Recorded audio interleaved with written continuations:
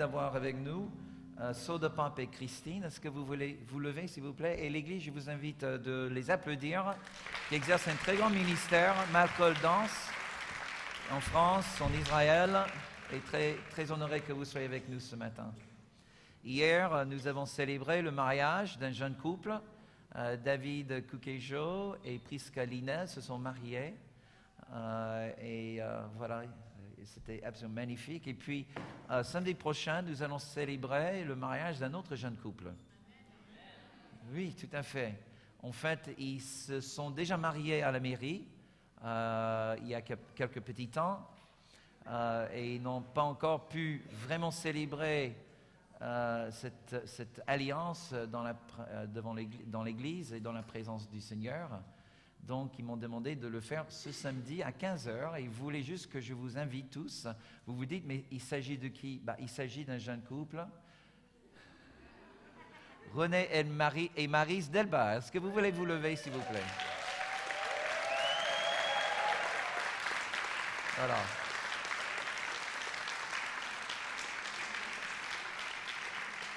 Amen. Donc 15 heures euh, samedi prochain, une grande célébration. Alléluia. Vous savez que même dans- au milieu de- des, troubles, au milieu des, des tragédies, euh, nous pouvons trouver la joie. Et je crois que c'est euh, peut-être l'une des leçons pour nous le plus important en ce moment. Amen. De ne jamais céder au désespoir, de se céder à la peur, se dire, mais Dieu, où es-tu?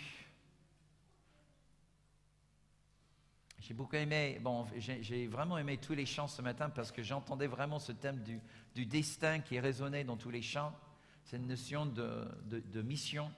Ah oui, tout à fait, désolé, mais si votre enfant n'est pas encore parti à l'école de dimanche, vous pouvez, il peut se disposer maintenant. OK? Euh, les événements de Paris nous ont tous secoués euh, ces derniers temps. Euh, extraordinaire le nombre de gens qui m'ont contacté depuis. euh, honnêtement, vendredi soir, j'étais déjà au lit, j'étais déjà couché de- depuis très peu de temps. Lorsque j'ai reçu un, message texte sur mon téléphone, oui, je dors avec mon téléphone parce qu'il se sert aussi de mon réveil. Mais ne vous inquiétez pas, j'éteins euh, le le- la, sonnerie, d'accord Donc, mais tout d'un coup, je vois euh, flasher sur mon téléphone un message texte de la part d'un d'un pasteur américain et qui, qui, qui, qui me pose juste une simple question est-ce que ta famille et ton église vont bien? Je regardais le message, j'ai dit c'est bizarre. J'ai répondu oui, et, et ta famille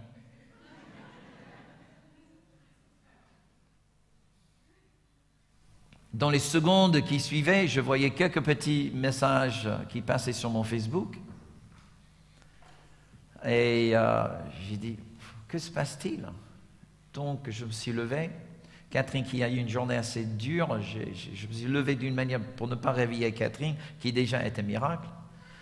Je suis descendu et euh, j'ai allumé la télé et puis tout d'un coup, euh, le choc, la réalité commence à s'installer.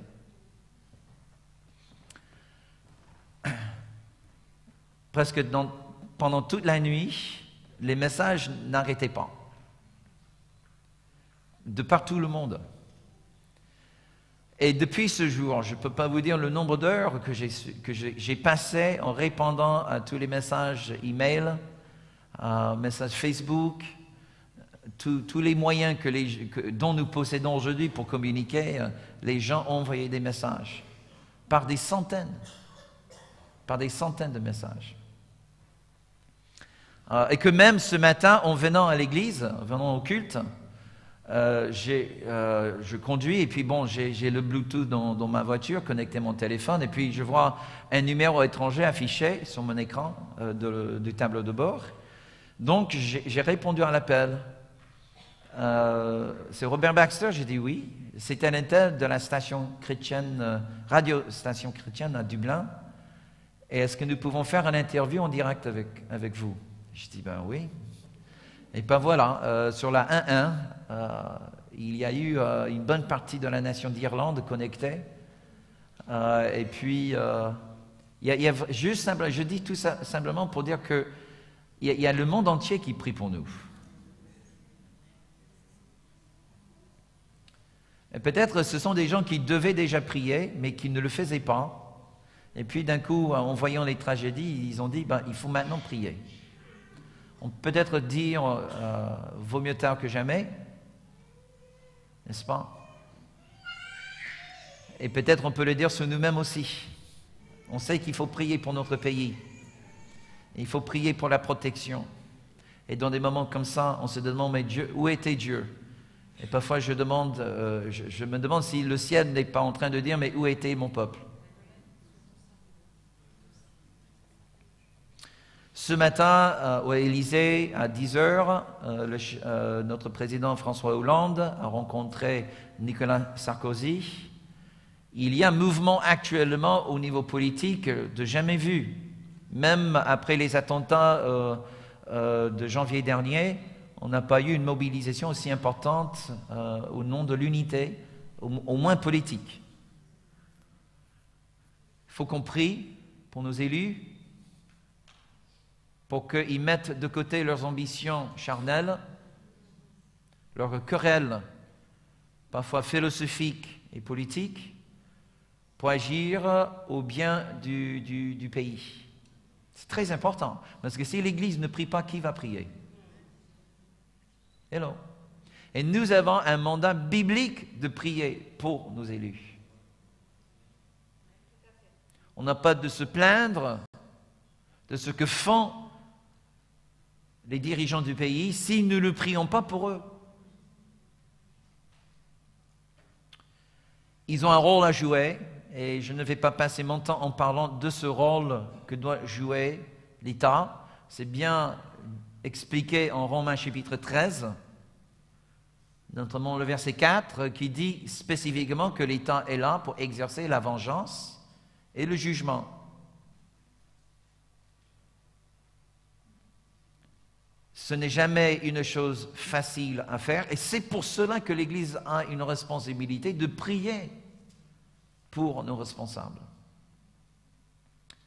Ils ont une lourde responsabilité maintenant de ne pas agir selon la chair, mais d'agir pour le bien du peuple français. C'est leur mandat divin. La Bible même appelle nos responsables, les magistrats, des serviteurs de Dieu, justement pour exécuter la vengeance et le, jugement. Et c'est très difficile. Honnêtement, je préfère le travail de pasteur que le travail de, chef d'État. Au moins, mon travail, c'est plus, clair, plus net. Aimer tout le monde, pardonner à tout le monde, point final. Pour eux, ils ont un rôle en tant qu'homme de pardonner, mais en tant que chef d'État d'exécuter la vengeance de Dieu. Mes amis, je parle du Nouveau Testament, je vous rappelle. Donc, il faut vraiment prier, et c'est pour cela que cette semaine, j'aimerais vous demander vraiment de faire votre mieux, vous mobiliser et participer à une semaine de prière et de jeûne. Je suis très fier de David Placide, qui est responsable du ministère Manop, euh, en collaboration avec son père, je crois, Pasteur Jean-Pierre. Ils ont décidé de transformer la réunion destinée aux hommes ce, jeudi en réunion d'intercession pour le pays. Euh, c'est juste. Il faut que les hommes prient. je ne sais pas pourquoi il y a plus de femmes qui disent Amen que hommes, mais ça me, rassure, parce que mon commentaire n'est pas un commentaire sexiste. Euh, c'est juste qu'on n'a jamais besoin de trop encourager les femmes à prier et le fond de nature. Les hommes, on trouve toujours autre chose à faire. Les hommes aiment discuter et la prière, c'est vraiment en dernier recours, on va prier. Euh, il faut que ça change. Amen. Il faut que nous soyons des hommes de prière, des hommes de l'esprit. Euh, mais ce jeudi, j'attends vraiment avoir une bonne partie de l'Église ici présente. Alors pour les gars du plateforme vidéo, je ne sais pas si on peut streamer la réunion ce jeudi. Je ne sais pas si nous avons suffisamment de, de bénévoles pour assurer euh, ce ministère, mais si c'est bien possible, merci, j'ai le feu vert. Euh, donc si vous êtes euh, indisposé pour pouvoir venir sur place jeudi, au moins connectez-vous sur le stream de l'Église. nous n'allons pas enregistrer la réunion de prière. Il va y avoir des choses que nous allons prier qui sont de nature un peu sensible, certainement. Donc, je ne veux pas que ça reste sur YouTube. D'accord? J'aimerais dire aussi que notre combat, et puis le, président de, la République, il a, dit que, il a dit que la France est en guerre. Vous l'avez bien entendu. La France est en guerre. Mais la guerre n'a pas commencé vendredi. La seule chose qui nous est arrivée vendredi, c'est que nous nous sommes réveillés de notre endormissement. Une notion, une fausse notion de paix et de tranquillité. Pour nous, la guerre était lointain, ailleurs. Mais depuis les attentats de Charlie Hebdo, on n'arrêtait pas de dire que le jour viendra où la guerre viendra ici et que la guerre nous trouvera. Ben, la guerre nous a trouvés. Vous savez, il y a des gens qui cherchent toute leur vie à trouver leur destin. Il est très rare que de temps en temps que le destin vienne frapper à notre porte. Mais il est là, à la porte. Et c'est à nous de décider comment nous allons réagir. Mais j'aimerais tout simplement dire que notre guerre aujourd'hui, la vraie guerre n'est pas contre euh, euh, euh, l'État islamique. La vraie guerre aujourd'hui, si je peux dire, n'est même pas contre l'islam. Il y a une autre guerre, une guerre spirituelle. Une guerre qui nous environne, et qui prend des formes différentes d'une génération à une autre. Il fut une génération en Europe où cette forme d'esprit et de violence s'est manifestée chez les nazis. Et on a vu des millions et des millions tués sous ce régime horrible et macabre. Mais mes amis, c'est le même esprit. Il a tout simplement changé de forme. Il cherche à intimider, à rendre esclave libre par tout moyen possible, notamment par la terreur. Le titre de mon message ce matin, c'est Face à la terreur, vaincre le mal. Face à la terreur, vaincre le mal. En 2 Corinthiens chapitre 10, verset 3, 2 Corinthiens 10, verset 3, nous lisons ceci.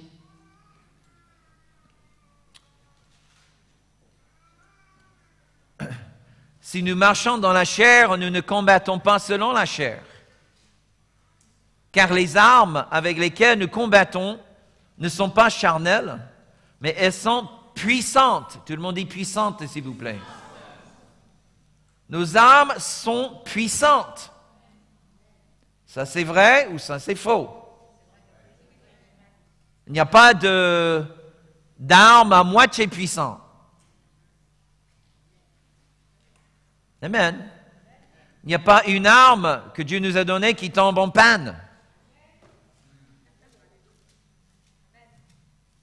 Comme un, un fusil, mais sans balles.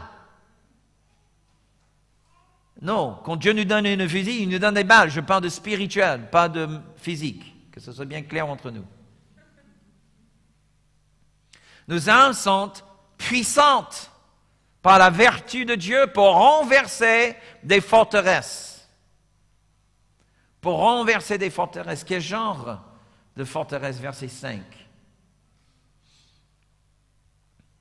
Nous renversons les raisonnements et toute hauteur ou dans une autre tradition, toute pensée ou haute pensée, qui se lève contre la connaissance de Dieu. Et nous amenons toute pensée, tout le monde dit toute pensée, captive à l'obéissance de Christ. Est-ce que vous comprenez, mes amis? Notre guerre, encore une fois, n'est pas contre, contre le, le terroriste, contre l'homme. Notre guerre est différente. Puis-je vous dire aussi que, dans un sens, notre guerre n'est même pas contre les démons. Écoutez-moi bien. La vraie guerre que Dieu nous a donnée, quel est notre ministère selon la Bible, le Nouveau Testament? Quel est notre ministère? Dieu nous a donné le ministère de... Est-ce que vous comprenez? La Bible ne dit pas que Dieu nous a donné le ministère de délivrance. Nous, nous pratiquons la délivrance ici, ne vous inquiétez pas. Si vous avez un démon, il ne restera pas longtemps. OK? Mais le ministère que Dieu nous a donné est un ministère de réconciliation. Puis je veux dire, la vraie guerre aujourd'hui est une guerre d'idées. C'est une guerre d'une idée contre une autre idée. C'est la guerre entre l'idée que Dieu est un Dieu d'amour contre l'idée que Dieu est un Dieu de malheur ou lointain, un Dieu qui abandonne ses enfants. Hello. Nous sommes dans une guerre, une guerre d'idées, une guerre qui dit contre l'idée que si je mène ma vie dans l'honneur, que j'honore ma femme, que j'honore toutes les autres femmes, je vivrai dans le bonheur. Contre l'idée que si je convoite une telle femme, et ça me donnerait beaucoup de plaisir de la voir, je peux la voir, et ça, je trouverai mon bonheur. Est-ce que vous voyez où se trouve la guerre? C'est une guerre d'idées. Une guerre philosophique, si vous voulez. J'aime pas trop utiliser le mot philosophie parce qu'on a une dose de philosophie en France nettement trop, trop importante.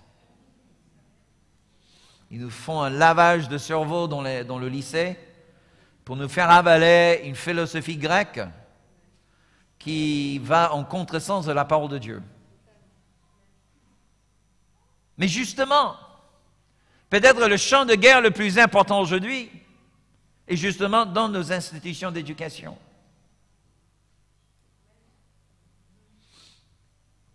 Combien de fois vous allez au travail?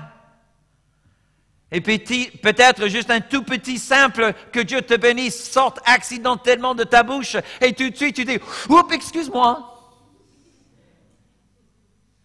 Oups.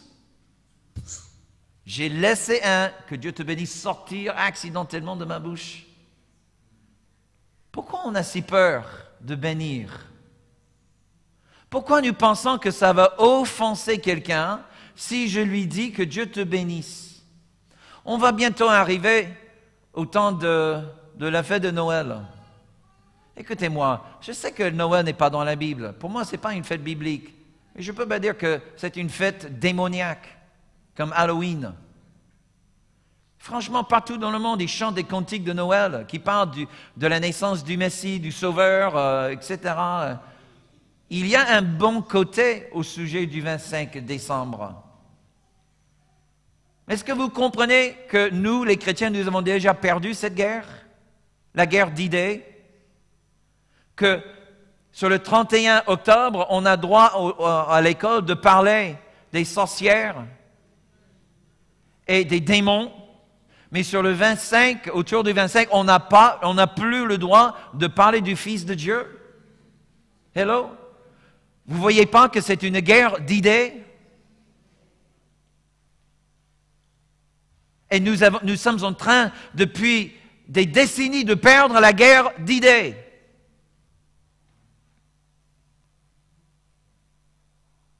Ma fille qui, vient d'avoir un nouveau travail, je crois que c'était toi, ou quelqu'un d'autre me l'a dit, mais peut-être que c'était toi, mais je ne me souviens plus. En tout cas, belle histoire. Au travail, on se présentait et puis elle dit qu'elle est fiancée et puis quelqu'un lui pose la question, tu vis avec ton fiancé Et puis Rihanna, qui n'a peur de rien, elle dit, non, je suis chrétien. On ne vit pas ensemble avant le mariage.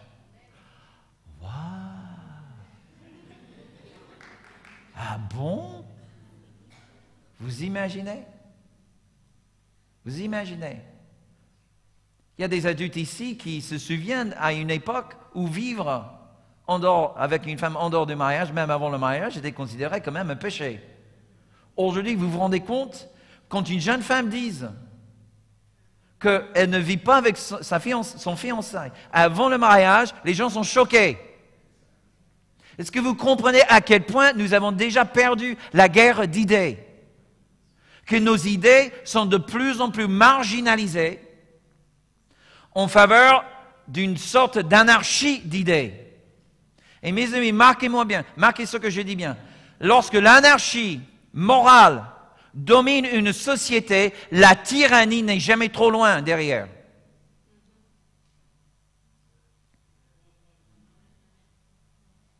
Encore une fois, là où l'anarchie morale domine une société, la tyrannie n'est jamais trop loin derrière.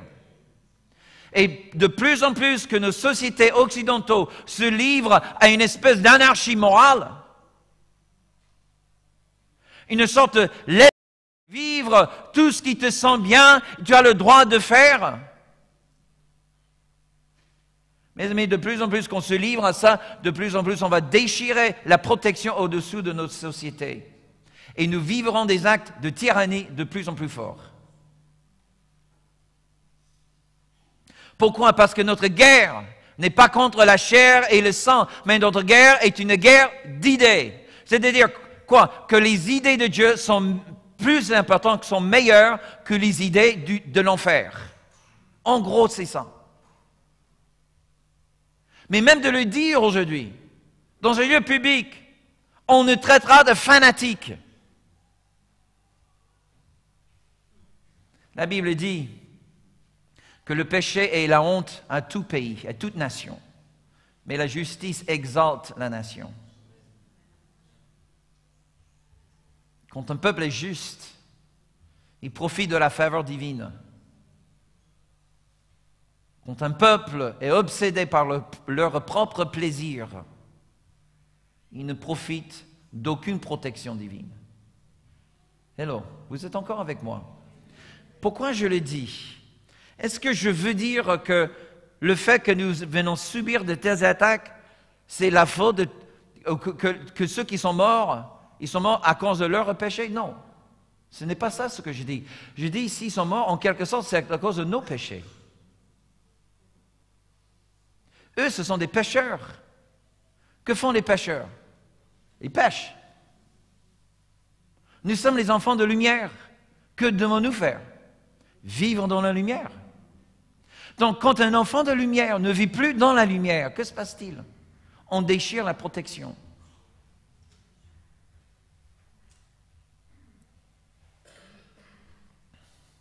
Mes amis, le mal existe. Le mal existe. Mais c'est quoi le mal? Le mal n'est pas la présence de quelque chose. Le mal, c'est l'absence du bien. Le mal n'a été jamais créé. Le mal est le résultat du péché. Hello, vous, réfléchissez?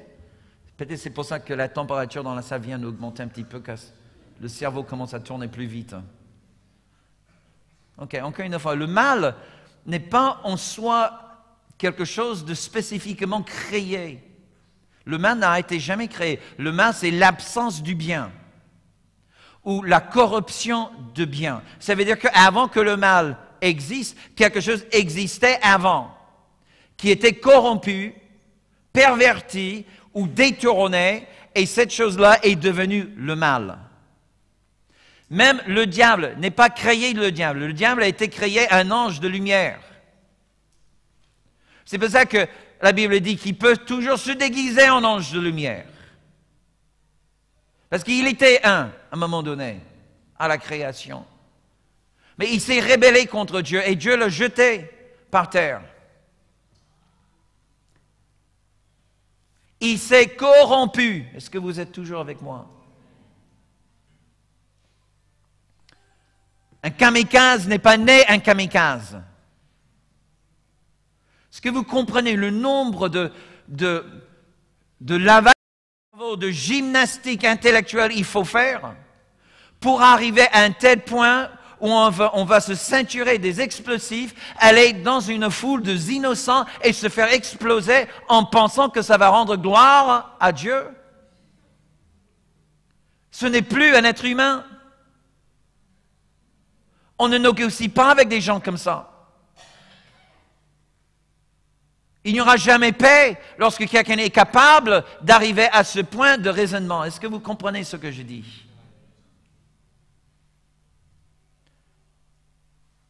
Tu, ne négocies pas, tu ne dialogues pas, tu ne raisonnes pas avec un tel. Parce que dans sa tête, il est déjà mort. Parce qu'il a franchi un pas au niveau de son raisonnement, au niveau intellectuel. Il s'est livré à la corruption de sa conscience. Et en conséquence, il arrive à un état de mal qui est purement démoniaque. Purement. Quelqu'un m'a posé hier à l'école biblique une question très pertinente. Un chrétien doit-il, est-ce qu'il a le droit d'être un militaire? C'est une très bonne question. La seule chose qui m'est venue à l'esprit, je ne suis pas le gars qui avait avec toutes les réponses, mes amis. J'ai plein de questions aussi devant le Seigneur actuellement. Mais la seule réponse qui m'est venue à l'esprit hier, c'était de penser que ce serait nettement mieux d'avoir un chrétien derrière la gâchette qui sait prier et qui sait, qui sait être dirigé par le Saint-Esprit que d'avoir un non-chrétien qui haït Dieu et qui haït les hommes. Il faut prier pour nos militaires. Dans notre Église même, on a quelques policiers et militaires, donc il faut prier pour eux. Ils ont lourde, lourde responsabilité.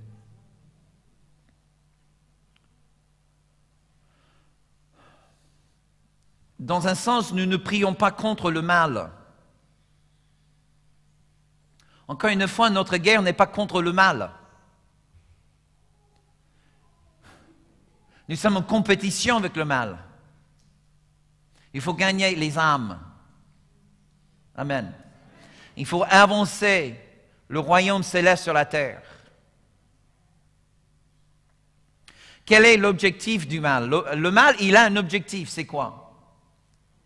Tout simplement empoisonner la terre à tel point que le bien ne peut plus y pousser. Et c'est pour ça que c'est aussi important de prier pour les victimes ou ceux qui, qui ont perdu un bien-aimé, un proche, un membre de famille. Vous savez aussi bien que moi que quand on passe par une souffrance profonde et soudaine, on cherche toujours un coupable. Et celui le plus facile à, blâmer, c'est Dieu. Si Dieu existe vraiment, il aurait pu empêcher ça.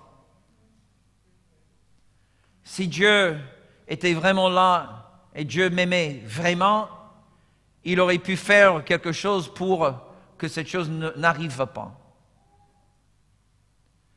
Ça nous prendra nettement trop de temps déjà ce matin avec quelques quelques retours que nous avons entendus, rien que les explosions au Stade de France, pas trop loin d'ici, 10, 15 minutes de marche. Trois bombes explosées, mais combien de morts, Pasteur Jean-Pierre? Un seul mort, trois bombes, trois kamikazes. Et un seul victime, c'est incroyable. Est-ce qu'on peut dire miraculeux? Je ne sais pas. Mais juste imaginez un instant, si le match a été terminé plus, tôt et que les 80 000 personnes en sortant du stade se trouvaient dans le champ de détonation et la panique après, mes amis, on aurait pu avoir des milliers de morts. Qu'est-ce qui s'est passé pour que ces trois kamikazes font autant d'entraînement, autant de, de, précautions, autant de stratégies, autant de, travail pour être dans un lieu stratégique du pays et ils se font exploser, sont causés des morts à part un? Ça n'a pas de sens. Mais on peut dire, Seigneur, merci qu'il n'y a pas eu plus de morts que ça. Merci Seigneur. Merci pour la réponse de nos forces de l'ordre. On peut toujours dire, ils auraient pu agir plus vite, etc. Mais mes amis, ils étaient là quand même. Merci Seigneur. Il faut continuer à les garder dans la prière. Mais le mal, il a un seul objectif, empoisonner le territoire, empoisonner la terre pour que le bien ne peut plus y pousser pour que le cœur de l'être humain devienne tellement toxique, il refuse de croire en Dieu. Prions pour ces familles qui ont perdu un, proche. Prions pour que le diable ne, puisse pas profiter de l'angoisse pour semer les grains de doute. Amen. Que ce temps soit un temps de guérison de réconciliation avec Dieu. Que ce temps soit un temps de réveil en France. Un temps là où les gens tournent vers Dieu. Non avec la question, mais Dieu, où es-tu? Mais euh, pour dire, Dieu, me voici. Alléluia. Quelle doit être notre réponse?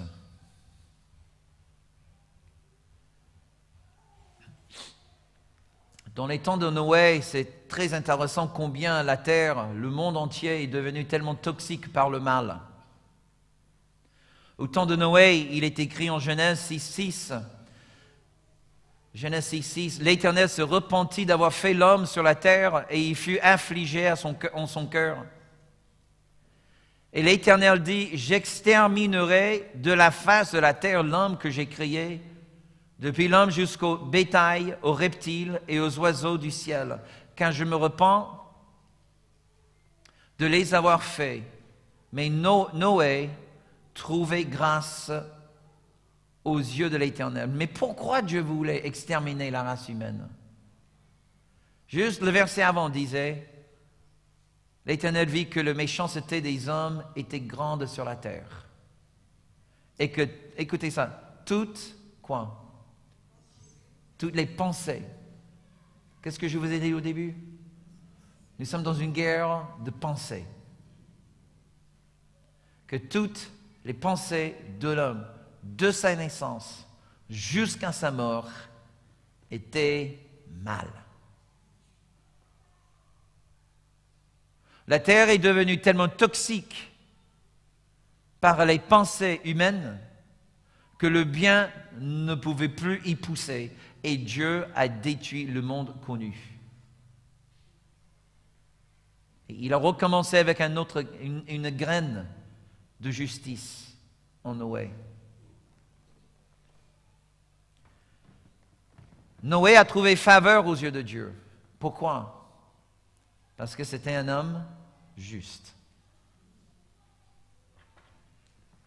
Il était un homme juste. Bonjour les enfants. Ok, je n'ai presque plus de temps. Quelle doit être notre réaction, mes amis? Numéro un, peut-être le plus, le plus évident. Ne crains rien. Ne crains rien. La crainte est la clé à ton âme pour le diable, comme la foi est la clé pour ton âme, pour Dieu. Quand tu crains, tu ouvres une porte une porte pour tout autre genre de toxicité. La Bible nous dit en Proverbe chapitre 3 et le verset 25, Proverbe 3, 25, ne redoute ni, ni une terreur soudaine, ni une attaque de la part des méchants. S'il y a un verset qui, doit nous parler aujourd'hui, c'est celui-ci, n'est-ce pas? Ne redoute ou ne crains pas d'une terreur soudaine, ni une attaque de la part des méchants. Mes amis, si nous trouvons une telle exhortation, ça me dit deux choses. Première chose, les terreurs soudaines viennent de temps en temps.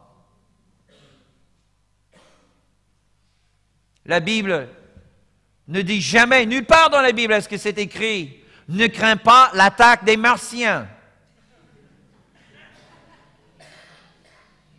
Pourquoi la Bible ne le dit pas? Parce que les martiens n'existent pas. On n'a pas besoin de craindre on n'a pas besoin d'être exhorté de ne pas craindre une chose qui n'existe même pas. Donc si la Bible nous dit de ne craindre pas quelque chose, c'est parce que cette chose peut nous arriver. Donc il est écrit, ne crains aucune terreur soudaine, ni l'attaque des méchants. Quand une population commence à craindre, il y a toutes sortes de, choses toxiques qui arrivent. Le racisme, mes amis, encore une fois, notre lutte n'est pas contre les Arabes.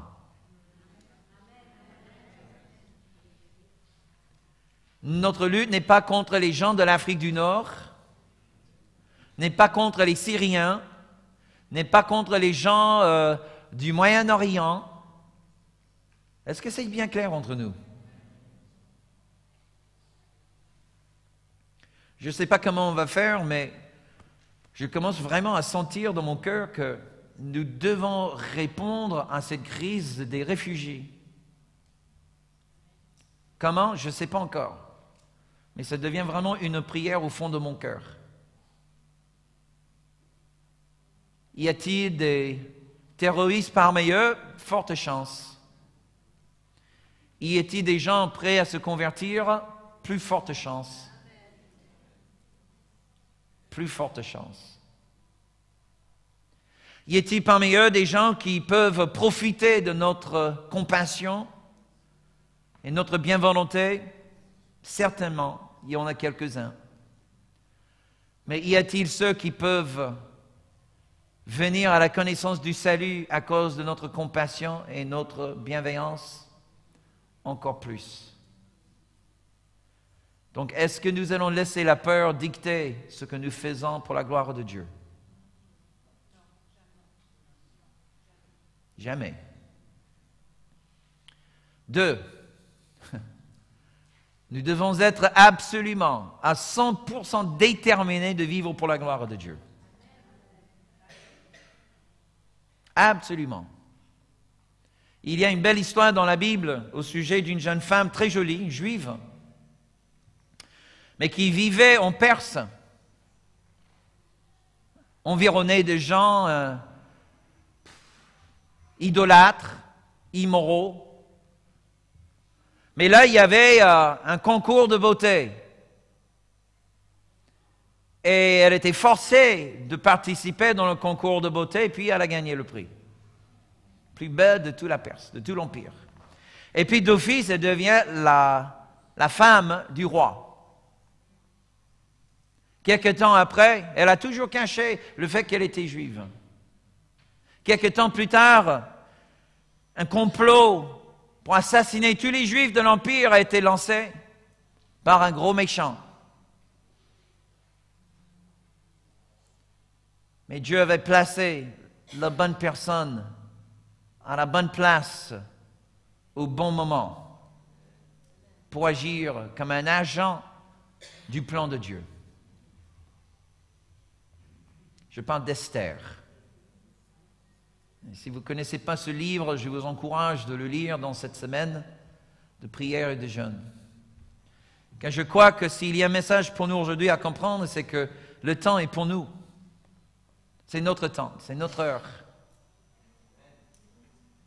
Tu dis, mais qu'est-ce que nous devons faire? Je dis, au moins prier, jeûner. Dieu nous montrera quoi faire après. On ne va pas se lancer dans, une, dans un, dans un fleurie d'activités juste pour faire quelque chose. On va vraiment se mettre devant le Seigneur. On va s'humilier devant Dieu. Amen. Comme il faut. L'Église va répondre présente. Comme le prophète qui a dit tout simplement devant l'Éternel lorsque Dieu lui a appelé, me voici.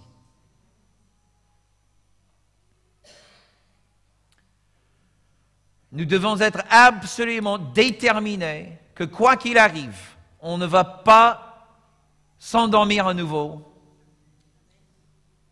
On va avancer pour la gloire de Dieu. Et puis finalement, pour terminer, et ça c'est archi important, surtout pour les jeunes chrétiens parmi nous. C'est important pour tout le monde, mais en particulier pour les jeunes chrétiens. Nous devons apprendre à vivre dans le shalom de Dieu. Shalom. Tout le monde dit ça avec moi. Shalom. Shalom. La paix de Dieu. J'aimerais prêcher une heure, mais il faut que je termine. Le temps d'installer des alarmes dans la maison n'est pas après un cambriolage.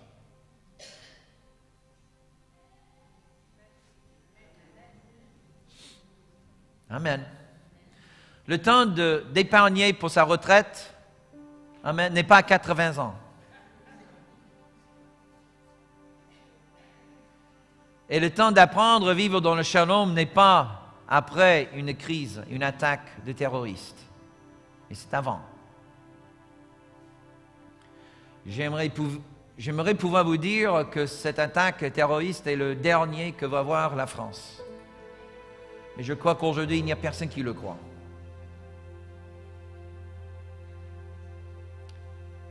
L'heure est venue pour nous. Amen. Et il faut qu'on s'entraîne, vivre dans la paix. S'imposer la paix. C'est-à-dire que quand il y a une petite angoisse qui commence à se lever dans le cœur, que tu prennes ton autorité. Au fond de euh, sur ton propre âme. Que tu dis non, je refuse cette pensée négative. Je refuse une pensée terroriste que, ferais-tu si quelqu'un toque à la porte? Et tu regardes sur le petit euh, Judas? Non. Combien la langue est révélateur alors? Incroyable.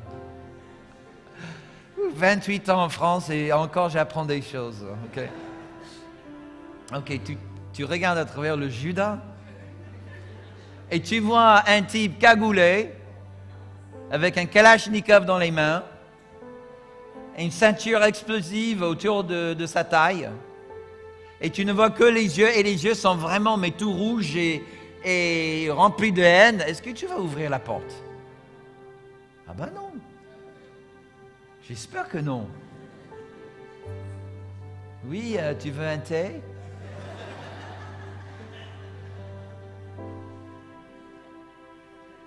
Juste parce qu'une pensée passe dans ta tête, tu n'es pas obligé de la garder. Quand tu marches dans les rues, quand tu rentres dans le métro, juste parce qu'un euh, sentiment d'angoisse envahit ton âme, ne veut pas dire qu'il faut la garder, mes amis. Tu as toute autorité dans ton âme. Pas dans la mienne, mais dans la tienne, oui. Et peut-être pour nous, la première guerre à gagner, c'est la guerre ici.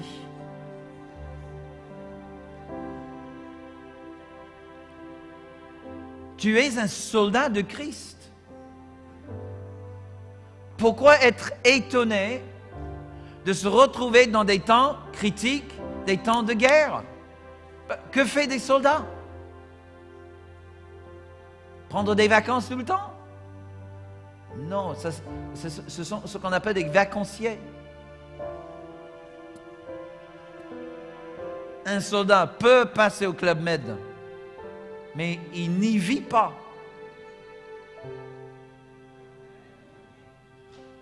Un soldat est formé pour faire quoi? Se battre. Vous êtes des soldats de Christ, la Bible le dit. Je le confirme. Vous êtes plus fort que vous le pensez. Vous êtes plus courageux que vous le pensez.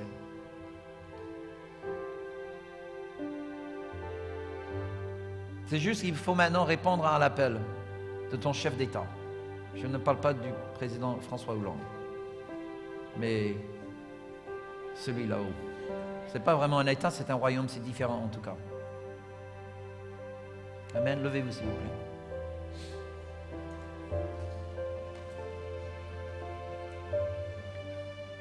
Êtes-vous prêt à vous entraîner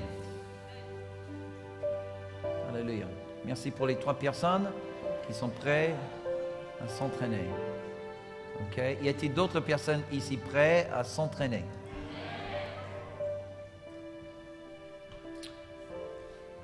J'aimerais vous demander, euh, bon, il faut être dirigé par le Saint-Esprit, que ça soit bien clair. J'aimerais vous demander de, entre le lundi, mardi, mercredi et jeudi, entre ces 15 jours, euh, vous prenez un jour pour jeûner. OK? Juste avec de l'eau ou des liquides. OK?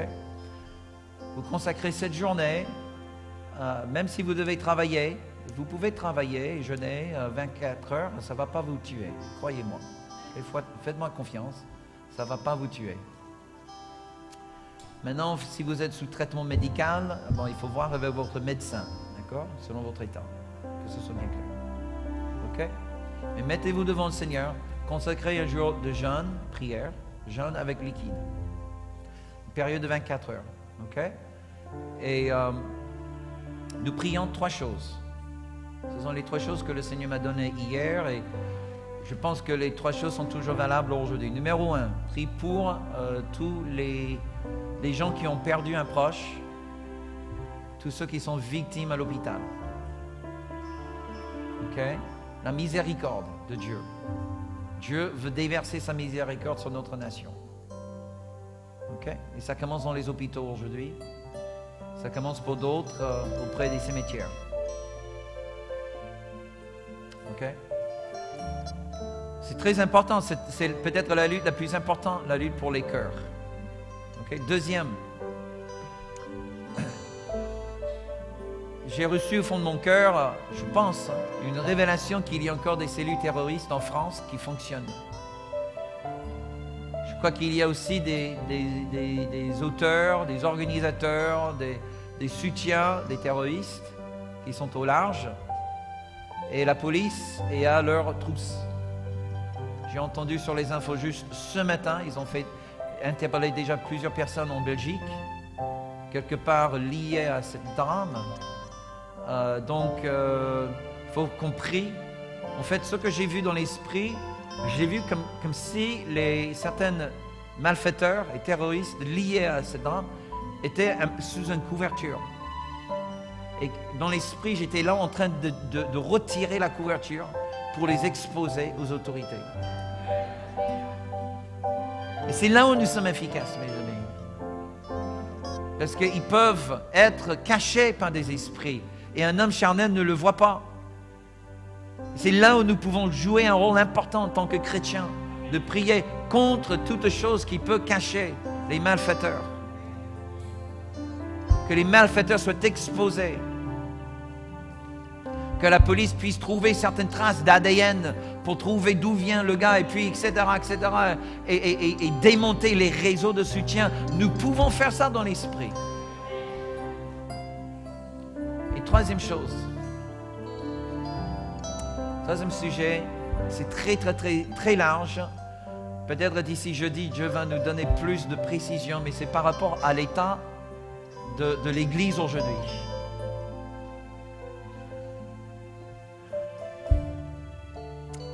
Nous avons accepté trop d'immoralité dans l'Église. On a banalisé l'immoralité. Et en conséquence, l'Église a perdu sa crédibilité dans la société. Chaque fois qu'ils parlent de la cellule de crise, et comme quoi ils font appel aux psychologues pour venir aider les gens en deuil, je dis, mais Seigneur, on n'appelle plus les pasteurs ni les prêtres. Pourquoi? Parce qu'on a perdu notre crédibilité. C'est la faute de qui? C'est la faute de nous les bergers. Et Dieu veut restaurer la crédibilité à son Église. Mais pour le faire, il faut que la justice, la sainteté soit restaurée à l'Église. Est-ce que vous comprenez? C'est un sujet très, très, très large, mes amis. Mais que Dieu nous, nous, montre comment prier avec plus d'efficacité. Dieu veut restaurer la crédibilité à son Église, à son peuple. Amen. Voilà les trois sujets.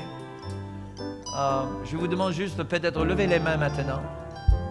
Et si je peux avoir euh, en même temps les, conseils spirituels, les membres du conseil spirituel sur le devant, s'il vous plaît. Alléluia.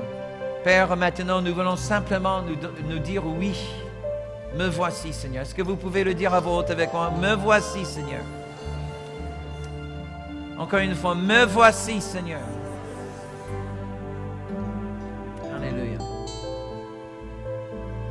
Papa, nous n'avons pas demandé ce temps-là.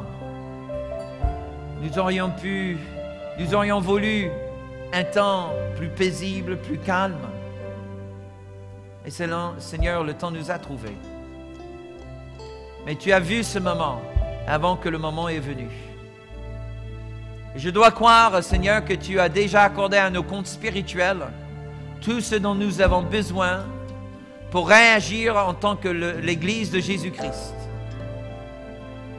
Que malgré nos faiblesses dans la chair et malgré nos incapacités intellectuelles et autres, que la grâce de Dieu est plus que suffisante et que celui qui demeure en nous est plus fort que celui qui est dans le monde. Et nous pouvons vaincre je dois et je le crois.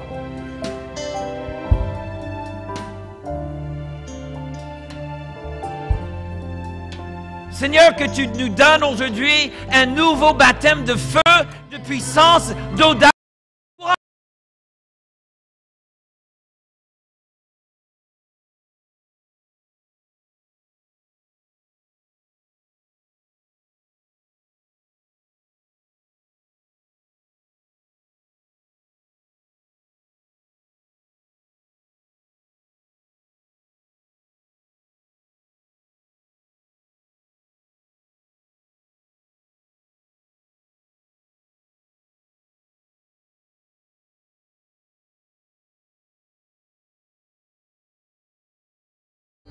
S'il y a encore des traces de peur, juste commence à les renoncer.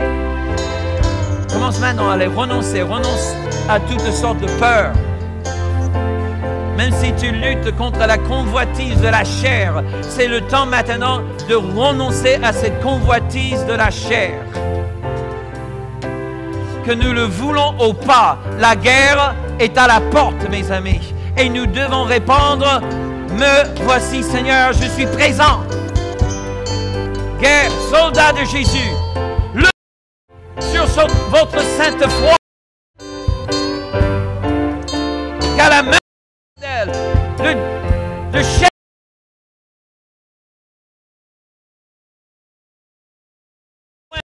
pour le bon combat de la foi. Il te oint comme intercesseur, il te oint comme évangéliste.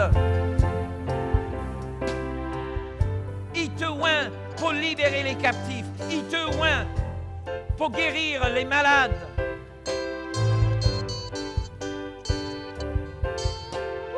Allez, au nom de Jésus.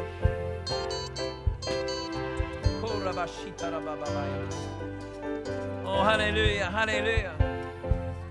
Alléluia. Quelqu'un peut dire merci Dieu pour ce que tu fais aujourd'hui.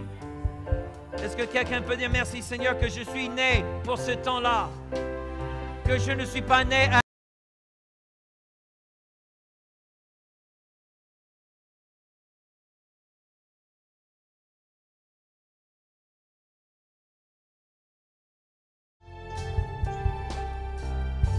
Alléluia.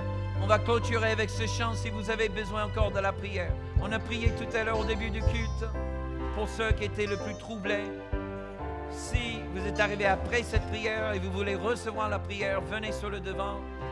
Si pour aucune autre raison que ce soit,